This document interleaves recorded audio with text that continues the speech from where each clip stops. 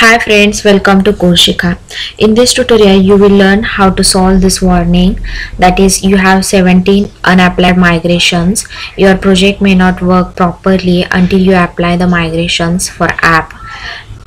Okay, so this warning comes when we try to run the project without creating the database tables for the app's admin, auth, content type, sessions, etc so uh, friends if you like this tutorial please like this video and uh, subscribe to this channel CodeShika to get the new video updates first to you.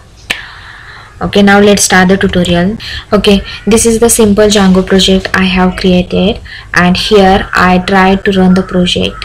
It gave me the same warning uh, because uh, we haven't applied the migration for the apps admin auth content types sessions okay. These are the apps uh, which are included uh, by default with Django in our project.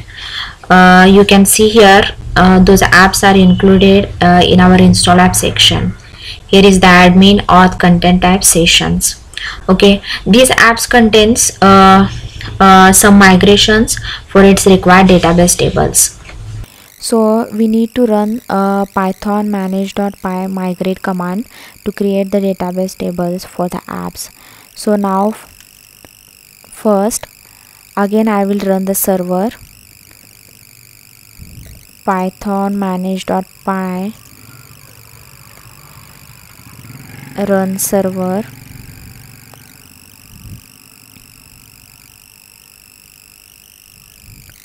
you can see here uh, the warning comes again uh, when we run the project and uh, because uh, we haven't run the migrate command yet. Now uh, let's run the migrate command to create the database tables for the apps. Python manage.py migrate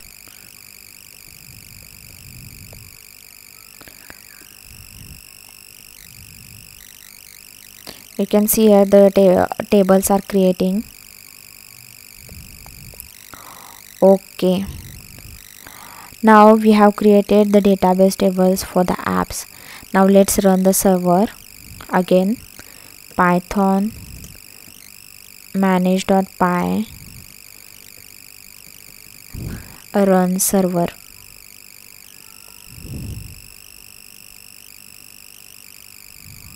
See here the warning is gone.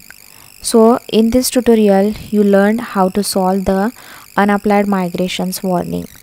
Okay. So friends if you like this tutorial please like this video and subscribe to the channel CodeShika to get new video updates first to you. Now i will meet in the next tutorial with the new topic. Bye bye